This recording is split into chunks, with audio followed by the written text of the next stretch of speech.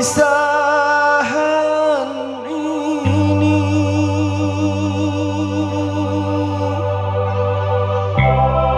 Walau menyakitkan hati Juga pero